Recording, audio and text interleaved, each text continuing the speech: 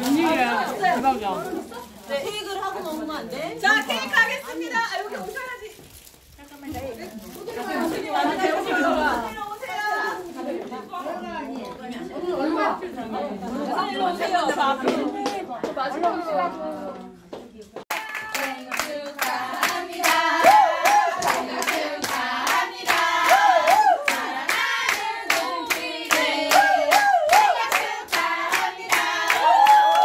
자, 축하합니다!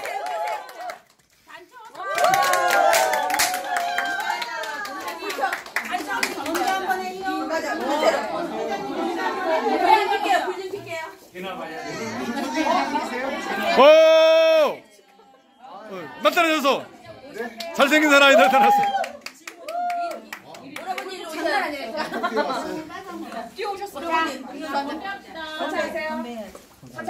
안 채워주세요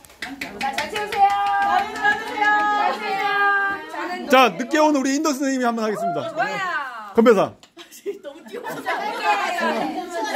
이게 뭔지 모르겠어. 회사에서 하는 거 있잖아요. 왜?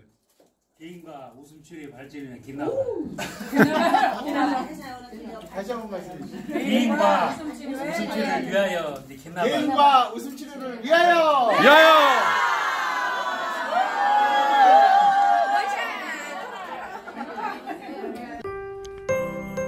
끝까지 저희 유튜브 방송 시청해 주셔서 대단히 감사합니다.